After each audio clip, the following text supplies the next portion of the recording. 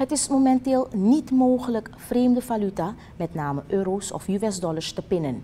Dit melden drie commerciële banken, te weten Finabank, de Republic Bank en DSB Bank, aan onze nieuwsdienst. De marketingafdeling van de Surinaamse bank geeft aan dat het nooit mogelijk was om vreemde valuta te pinnen bij haar ATM's.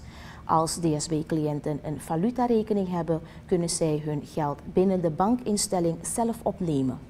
De marketing- en communicatieafdeling van de Republic Bank geeft aan dat er een noodzakelijke technische upgrade moet plaatsvinden bij al haar ATM's. Ook deze cliënten kunnen binnen de bank hun zaken regelen.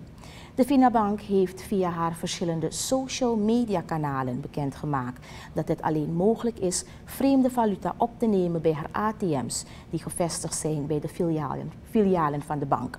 Bij de Finabank ATM, die gevestigd is bij de politiepost Apura, is het ook mogelijk valuta te pinnen. Bij de overige ATM's kan men dus alleen SRD's opnemen.